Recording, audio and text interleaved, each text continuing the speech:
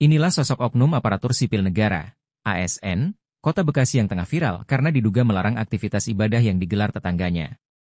Video cekcok kedua belah pihak itu pun viral di media sosial setelah diunggah akun Twitter. Dalam keterangan unggahan disebutkan bahwa peristiwa itu terjadi di Perumnas 2 Kecamatan Bekasi Selatan, pada Minggu, 22 September 2024. Oknum ASN Kota Bekasi yang merupakan seorang perempuan itu terlihat memakai jilbab kuning dengan daster bercorak kembang. Ia terlihat begitu emosional saat berbicara dengan sekelompok orang sambil menunjuk disertai suara lantang. Diketahui, oknum ASN itu berinisial MS, ia terdengar melontarkan beberapa kalimat. Ia melarang aktivitas ibadah di rumah yang digelar tetangganya.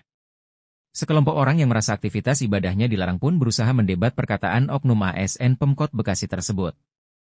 Akibat perdebatan itu pun berujung kegaduhan.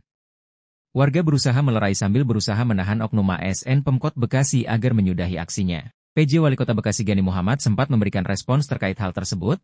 Kami akan segera menindaklanjuti aduan-aduan yang telah diterima dengan terlebih dahulu mendengar dari para pihak yang terkait mengenai duduk perkara YG sebenarnya dan pastinya kami akan mengedepankan ketentuan peraturan perundangan-undangan dalam menyelesaikan masalah ini.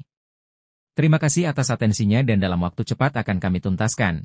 Itulis Gani, dilansir dari Tribun Jakarta. Tidak ada. Istri bapak yang ganggu kami. Ibadah itu hak kita loh. Iya, kan tempatnya. Tempat- Tempat ibadah itu harus ada izin. Harus ada izin. Mau berdoa minta izin. Aduh, bapak memfasilitasi orang yang intoleran. Ada izin. Orang mau berdoa Jangan lupa subscribe ya.